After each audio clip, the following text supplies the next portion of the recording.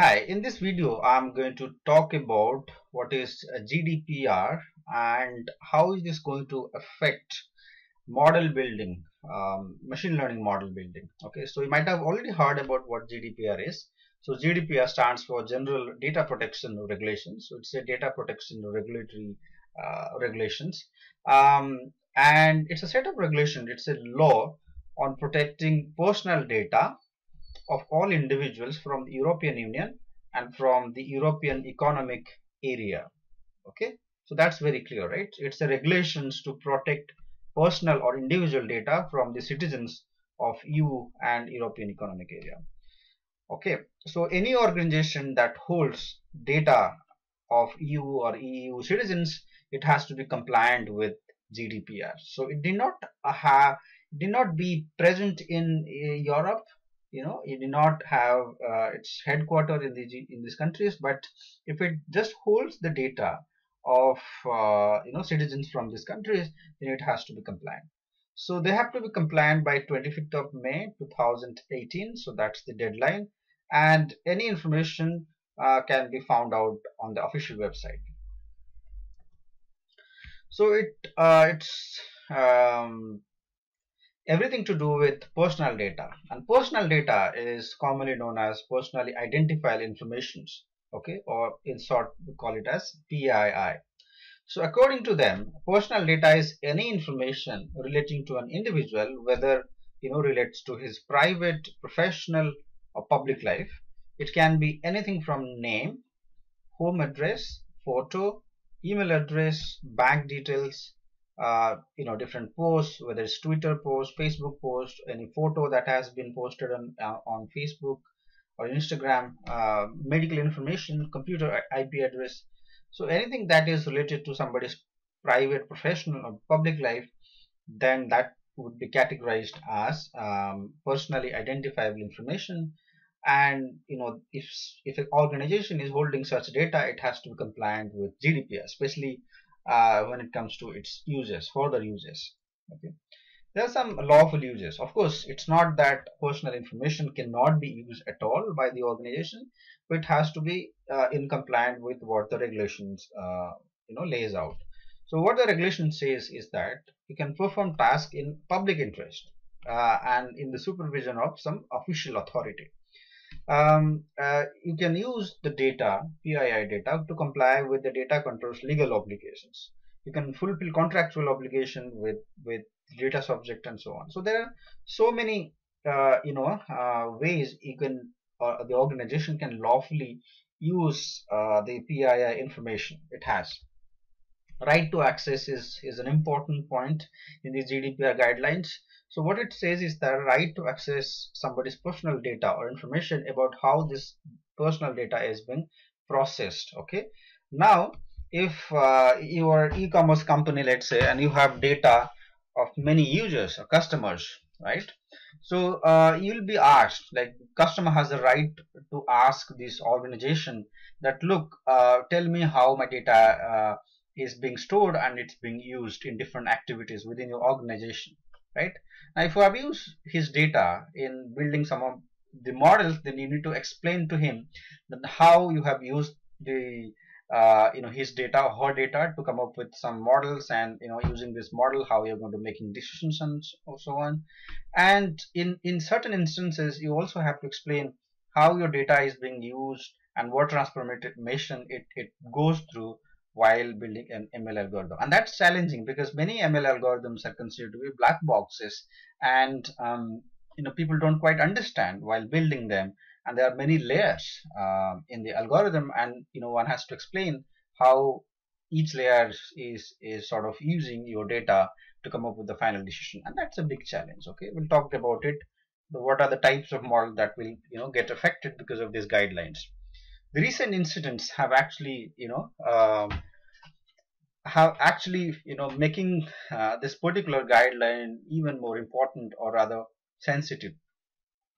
Uh, so the recent incident with Facebook okay uh, so what happened and those of you are not aware of what happened with Facebook was that uh, there is an analytics company based out of UK that use Facebook uh, many uh, you know Facebook users data to you know use it for purposes or uh, you know regions that that are not very good for public in general. It actually had to interfere into many elections in different countries and that for that reason why you know facebook uh, was you know charged with a lot of uh, legal uh, it has to go through some litigation process and i'm sure there will be a lot of fine on on this company. Okay?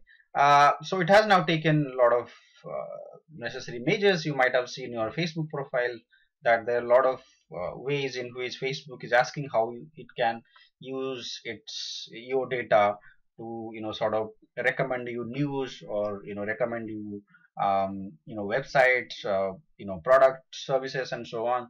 So now it is in your control. Facebook cannot do it uh, just by that. Another incidence is with equifax. So equifax is is a company that stores data on you know uh, credit behavior of you know credit data basically you know um, it gives credit score uh, of people. Uh, so that is basically related to personal PII category of information where you know you can get to know somebody's um, you know name address and then his credit score and you know and obviously when you know bank details and you know financial details of somebody a lot of things can actually happen uh, so because the, of some cyber threat it lost a lot of data. So it's under supervision as to how uh, personal data uh, uh, you know was so easily accessed by cyber uh, by by the you know hackers. So these are some of the incidents why GDPR is now you know being taken very seriously by most organization and and even by most countries in fact most countries are now having their own form of GDPR although GDPR is particularly from the European Union countries but it's now being you know in, in some form or the other is being uh, is being you know drafted in many other countries okay? There are uh, there are uh, reasons there are ways in which uh, there is no restriction of uses of you know PII data. For instance lawful inter interception national security military and police and, and justice. That's mostly by the country where you know the company is operating. Statistical and scientific analysis. This is the most confusing thing okay? Um, the assumption here is that when you do statistical analysis on data, you, you actually are able to explain everything about it. But that's not the case with machine learning, right? So people who are familiar with machine learning models, they know that a lot of time you cannot actually explain why something is happening. Uh, there is no proper theoretical understanding. Even the best expert will uh, will find it very challenging. Okay, that's one area where the discussion is still going on okay there's no clarity yet and a lot of controversial uh, aspect of this regulation that is yet to be you know sorted out um, and there are many you know such uh, regions where you know you can use uh, data PII data for research and other purposes. For details you can always go to their website to understand. Um, question is how a machine learning model is going to be get affected? Okay um, more recently okay uh, PII data has become very important for especially the e-commerce companies uh, or the tech companies you know operating uh, on the electronic commerce or the mobile uh, commerce space okay? So don't those companies need your data so that you know they, they will send you uh, product services based on your behavior based on your and whatever. But that's not it's without a consent. You haven't given them the right to use your data for different sort of purposes. Of course they you know they have their uh, terms and conditions and you, you might have checked in terms and conditions but but it's not very clear right? So those areas uh, are, are, going to be scrutinized okay? So pi data cannot be used or cannot at least be used so easily in ml models. And there are areas where it cannot be used at all. For example in finance and banking especially the uh, fintech companies they cannot use pi data uh, to grant somebody loan uh, right? So somebody's uh, race somebody's gender cannot be a feature in your model okay? That's restricted okay? So your models will go under um, you know regulatory it has to pass the regulatory uh, framework before it, it gets used. In banking and finance there are anyway many regulate regulations not just from GDPR side there are regulations from uh, many uh, you know they're internally sent by the central bank by um, by the Basel committee by uh, different other organizations. But in non-banking areas you know uh, you know there are not many regulations. But GDPR is one or rather the first type of regulations the ML modelers will will have to you know face. And they have to be complied with uh, whatever the guidelines are second thing is that uh, many times uh, you know good ml modelers they don't quite worry about the model interpretability. In fact the expert have said that interpretability is is of is, is secondary in in developing ml models. You know ml models you are simply worrying about the prediction. If the model does good prediction you know that's fine. You know you don't have to worry uh, the interpretability of the model models. Now that you know you have to communicate to laymen or, or, or lay persons or people who are not familiar with uh, machine learning whether they are regulators whether they are common people or other department government you know people from government then interpretability will play a big role. Okay? So that's another change. Um, okay the last thing that is important is that uh, for machine learning models in many areas one has to master a better model development with less data because a lot of the uh, PII data and I'm sure the PII data is still not very clear in many areas but you know a stringent action will be taken. People who are you know manipulating PII information in some sort of ways to you know sort of you know just increase the efficiency of the model of prediction just to automate their task which is going to be uh, very difficult for people involved in these particular activities. Okay?